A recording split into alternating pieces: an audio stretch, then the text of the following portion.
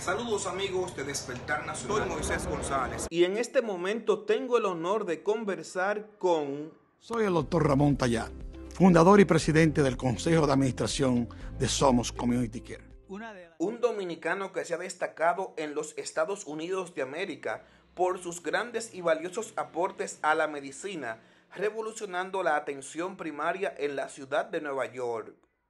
El doctor Ramón Tallá ha luchado incansablemente desde que inició la pandemia del coronavirus para ayudar a las personas de bajos recursos en Nueva York. Desde el primer día, este dominicano y su equipo salieron a encarar la enfermedad, una lucha que le cobró la vida a varios de sus trabajadores. También ha realizado importantes aportes al país. Él es nuestro invitado de la semana en Despertar Nacional. Gracias por venir complacido de que el señor presidente nos invitara a colaborar y ayudar. Yo estoy viendo que un gobierno que se hacen las cosas como se deben hacer y se están cumpliendo. Es importante colaborar lo que podamos. Estamos aquí presentes por eso. Usted ha seguido de cerca el plan de vacunación en República Dominicana. ¿Qué opinión le merece el plan que se está ejecutando? Bueno, mira bien. Primero es una pandemia. No mucha gente sabía nada. La última fue en 1918 pero en la época que pasaron otras vacunas, duraron 30, 40 años, tenían que tabular con la mano. Ahora tenemos computadoras. Todas las vacunas se hicieron más rápido. Podemos hacer microscopios más avanzados, tecnología más avanzada. Ciertamente hace falta tiempo para ver los efectos secundarios, pero todo tiene efectos secundarios. La aspirina, el Tilenol, que son cosas sencillas. Pueden traer problemas serios de salud, pero estas vacunas salvan. Porque este virus te mata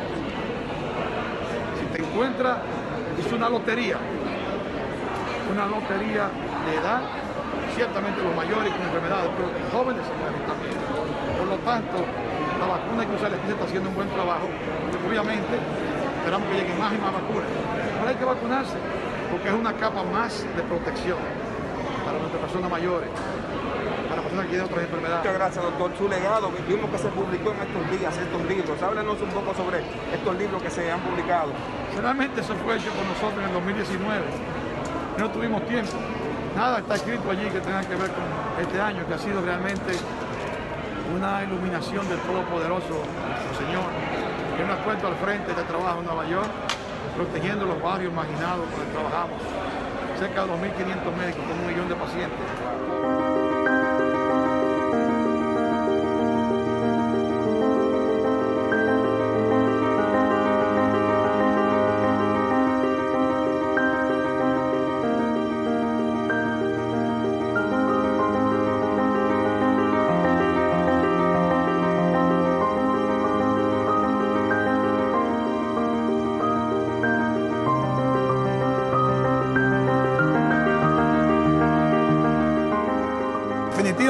Hemos transformado lo que es la salud, sobre todo en nuestros barrios pobres, nuestro barrio donde la gente tiene Medicaid, cerca de un millón de pacientes que tenemos nosotros.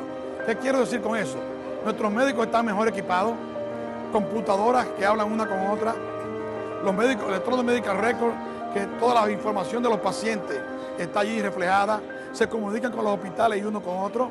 Además de eso, hemos logrado disminuir más de un 39% las ah, admisiones que no eran necesarias, más de un 36% las visitas a la emergencia que no eran necesarias, y en el sector de la salud mental lo mismo, más de un 34% las visitas.